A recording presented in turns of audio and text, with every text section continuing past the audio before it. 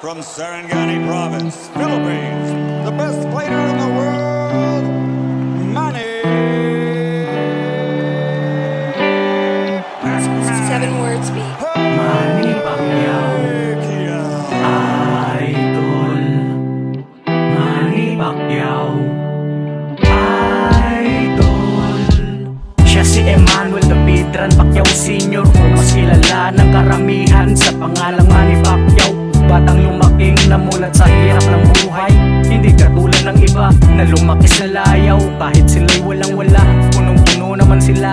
pagmamahal At gabay ng kanilang ina na si Aling Junisha Minor pa lang natuto ng magbanat ng buto. Hindi nagre-reklamo kahit ulam nila laging tuyo At kung minsan wala pang maihain sa kanilang lamesa Kahit nakaunting grasya. Subalit imbes na sumuko Hindi siya nawala ng pag-asa At mas lalo pang tumibay ang kanyang loob Nilampasan lahat ng pagsubok. At mas lalo pang hinubog ng panahon. Lubak-lubak man ang dinadaanan At laging nakayapak. Hindi alintana ang mga putik na laging dumidikit sa kanyang mga paa.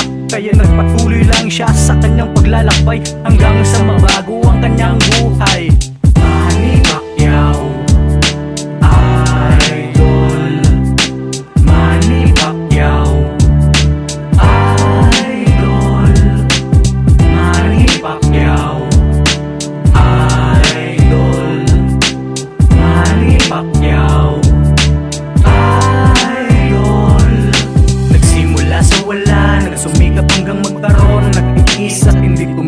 hanggang Sumang-ayon sa kanyang panahon.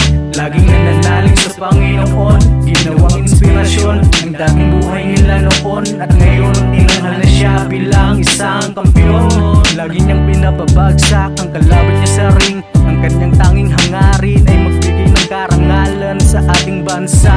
Binansagang pambansang kamao ng Pilipinas Manny